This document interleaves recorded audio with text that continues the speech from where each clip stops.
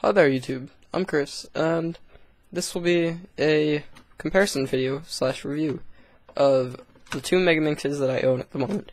This is the Dayan stickerless Megaminx with the ridges, and this is the Mefferts Speed Megaminx with stickers, which I'm not sure if you can see that, but it says Mefferts Challenge.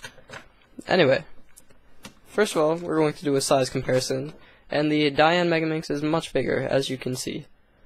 And although the Dayan is much bigger, the Mefferts Megaminx is actually a lot heavier.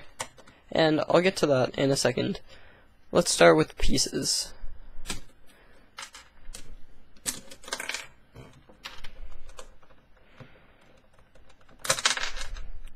So, as you can see, the Dayan pieces very similar are very similar to other Dayan products, like the Zhanchi. And now comparison to the Mefferts, the pieces are a lot longer. Although they are longer, the Mefferts pieces are solid. The Dayan pieces are actually hollow. So if I can get that apart, there we go. They are hollow.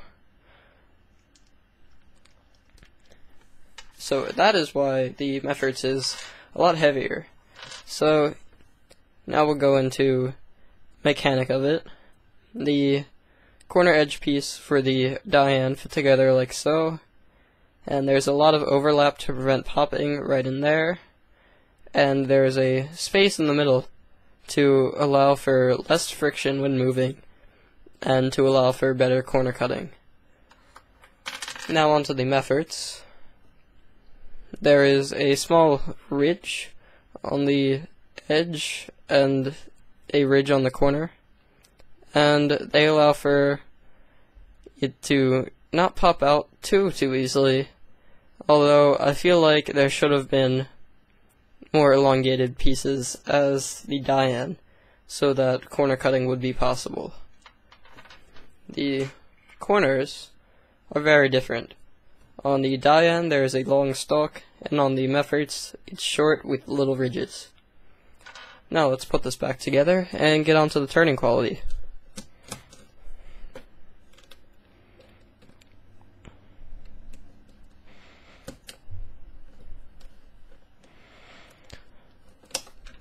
This is very tough to put back together. There we go.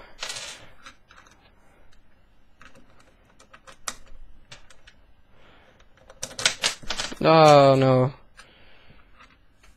I cleaned out the Mefferts Megaminx just before making this video, and it was very, very annoying when pieces kept falling on the floor and I kept losing them. So, let me go retrieve that piece.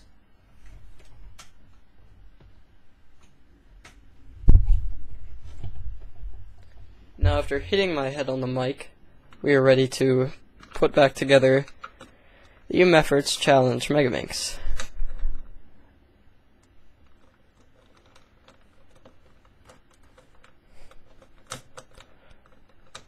Okay. Now that both Megaminxes are now fully assembled, we'll go over turning. Mefferts turning is a lot crispier, though I find with the stickers my fingers do slip off the pieces with the Ridged Megaminx, Ridged Dayan Megaminx, they have fixed that. I am very happy with it and my fingers don't slide off.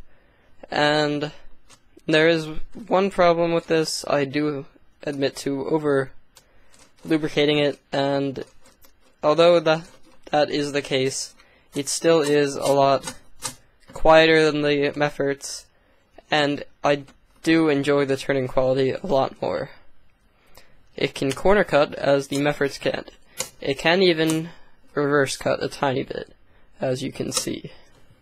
The Mefferts cannot reverse corner cut at all. But it can corner cut a little bit, as can the Dayan. So overall, if you want a recommendation, I recommend the Dayan Megaminx. Get the ridged version, and yeah.